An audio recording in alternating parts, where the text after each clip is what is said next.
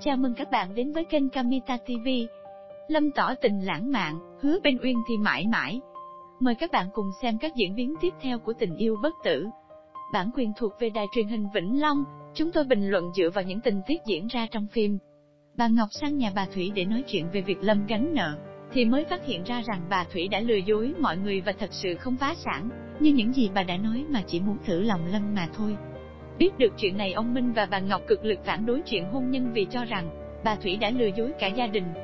Điều này cũng làm liên lụy cho cuộc tình của Lâm và Uyên Thi. Lâm cho rằng gia đình của Uyên Thi không tin tưởng mình, luôn tạo ra những thử thách cho mình dù đã quen nhau suốt 3 năm. Đã phải còn có chuyện lừa dối phá sản để thử lòng nữa.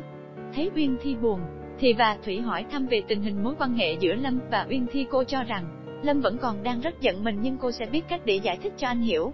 Bà Thủy sau khi trở về từ bệnh viện bà đã gặp Lâm và nói thẳng rằng, mục đích bà muốn xả phá sẵn là để chấm dứt cuộc tình của Lâm và Uyên Thi. Bà cho rằng vấn đề không phải ở Lâm mà chính vì gia đình phức tạp của cậu. Ba mẹ cậu đã hứa hôn với Linh và không chào đón Uyên Thi một chút nào. Nếu Uyên Thi trở về nhà cậu làm dâu, thì mọi chuyện sẽ vô cùng phức tạp và Uyên Thi sẽ chịu phần thiệt. Lâm bảo rằng gia đình của cậu rất bảo thủ, nhưng Lâm sẽ có cách để cho trong tương lai mọi người sẽ chấp nhận Uyên Thi. Nghe Lâm nói bà Thủy liền thở dài thời gian đó sẽ là bao lâu một năm, hai năm hay là mười năm. Thời thanh xuân của con gái là, có hẹn không thể cứ ngồi chờ Lâm giải thích với gia đình cậu. Thế nhưng vượt qua tất cả Lâm và Uyên Thi nhất quyết sẽ không chia tay nhau. Lâm còn hẹn Uyên Thi ra để nói chuyện và tặng cho cô những bông hoa bất tử. Anh cầu mong rằng tình yêu giữa họ sẽ mãi mãi được bền lâu, như tên của loại hoa này. Sẽ được mãi mãi bên nhau và sẽ không bao giờ tàn phai. Uyên Thi rất vui khi được nhận hoa từ Lâm, và hỏi rằng sao hôm nay lại lãng mạn đến thế. Lâm nói những lời yêu thương rằng, anh sẽ không dám hứa trước với Uyên Thi bất cứ điều gì, nhưng anh sẽ luôn luôn ở bên cạnh cô và bảo vệ cô, để cho Uyên Thi được hạnh phúc.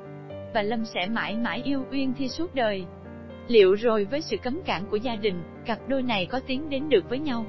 Lâm sẽ nghĩ ra mưu kế gì để được cả hai gia đình chấp nhận? Mời quý vị đón xem những diễn biến tiếp theo của bộ phim Tình yêu bất tử. Hãy để lại bình luận của các bạn bên dưới. Like và đăng ký để đón xem các tập tiếp theo nha. Giờ thì xin chào và hẹn gặp lại.